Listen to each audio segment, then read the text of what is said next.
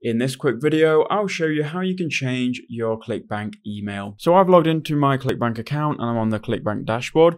Now once you're here, you need to go to accounts and then you should see your account here, which you just need to click on the link. That will open a new window and it will take you to ClickBank, but kind of like the more outdated version of it. You can then go to our account settings in the top right hand corner. Then once you're here, you should see all your information that's on the account. Now, if you go to contact information, you'll see your name, your email address and phone number, click edit. Now it will open up a new window where you can go ahead and change your account email. So I've just deleted what's already there, I can then enter in a new one. Once I'm happy with that, I need to scroll down to the bottom. And here you'll see save changes. You can just go ahead and save those changes and then your email will be updated.